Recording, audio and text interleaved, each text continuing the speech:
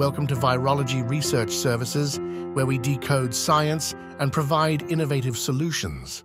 Sun Tzu's famous saying, Know your enemy and yourself, and you won't be afraid in many battles, is not just about war.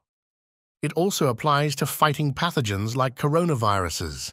By learning from past experiences and studying both dangerous and less harmful coronaviruses, we can get ready for any new infectious diseases that might arise. To tackle the problems caused by the novel coronaviruses responsible for significant health crises, it is imperative to understand not only the latest strains, but also their predecessors. Human coronaviruses were initially identified in the 1960s, when scientists Tyrrell and Bynoe discovered a virus capable of causing common cold symptoms in human adults, which they called B814. This discovery was soon followed by the identification of similar viruses in human patients with respiratory illnesses. These viruses were named coronaviruses due to the crown-like spikes observed on their surface through electron microscopy.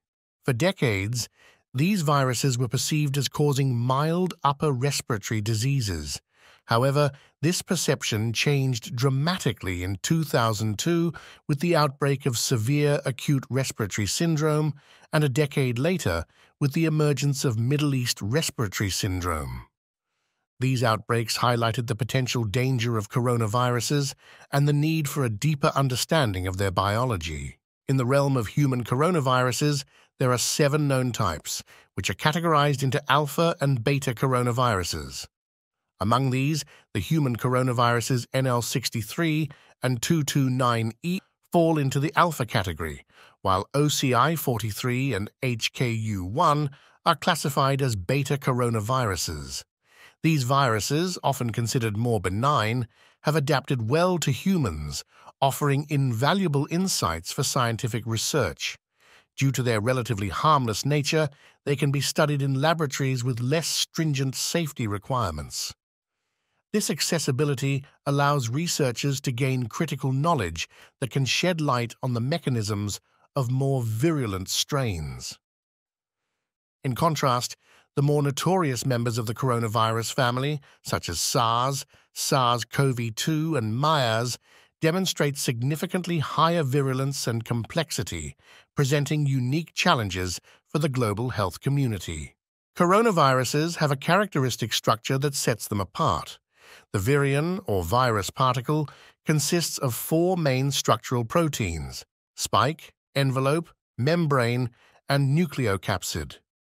The spike protein projects from the viral envelope and give coronaviruses their characteristic crown-like appearance. This protein is crucial for host cell recognition and entry as it recognizes and binds to receptors on the surface of host cells, facilitating viral entry. Its critical role in infection makes the spike protein a primary focus in the development of vaccines and therapeutic agents. The envelope protein contributes to the viral envelope's shape and assembly and helps to construct the protective layer that encases the virus, contributing to its stability and infectivity. The membrane protein anchors the viral envelope and is involved in viral assembly. This protein ensures that the structural integrity of the virus is maintained, enabling it to survive and propagate. Finally, the nucleocapsid protein encapsulates the viral RNA genome. This packaging is crucial for protecting the viral genetic material and plays a role in the virus's replication cycle and in its ability to hijack the host's cellular machinery. Together, these four structural proteins not only define the physical and biological properties of coronaviruses, but also provide multiple targets for research and therapeutic intervention, offering hope in the fight against these pathogens. Human coronaviruses spread mainly through tiny droplets released into the air when an infected person coughs, sneezes, or even talks. These droplets can land in the mouths or noses of people nearby, potentially entering their lungs and causing infection. The common symptoms of a coronavirus infection are similar to those of a typical cold, including a runny nose, coughing, sore throat, and occasionally a fever.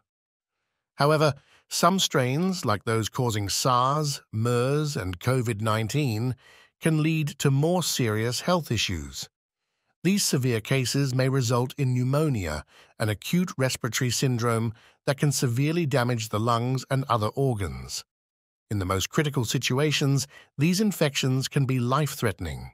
We've taken a close look at coronaviruses, but there's always more to learn.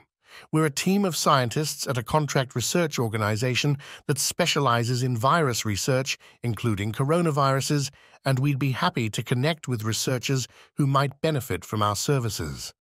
And if you're into virology and enjoyed this video, follow our channel for more straightforward science content.